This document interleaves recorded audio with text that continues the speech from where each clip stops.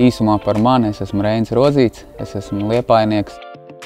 Jā, es liepāju prezentēju sporta jomā. Uz doto brīdi piedalos piekrastes pārgājienu organizēšanā, kurā dalībnieki varēs izbaudīt uh, smiltis, sauli, vēju un jūru, visu, ko mums sniedz liepāja.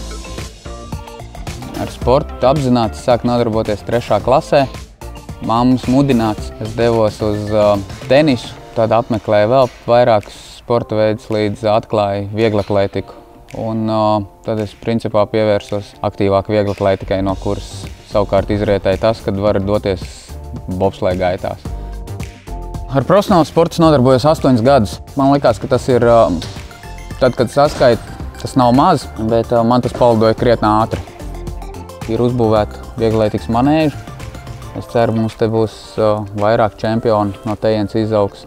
Ir olimpiskais centrs uzbūvēts. Plānā ir gan tenisa korti, gan futbola hala. Ja pirms 20 gadiem mēs atļautos, tad, kad es sāku pateikt, ka kaut kas tāds reāli arī būs. Liktos kosmos, nu, bet, bet te, te viņš ir. Nu, ko tur slēpt? Mēs esam pasaules sporta top pilsētā. Ne?